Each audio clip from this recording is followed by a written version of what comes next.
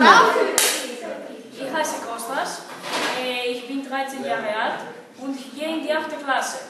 Äh, ich spiele Handball, ich mag nicht Spiele spielen am Computer und ich spiele Volleyball.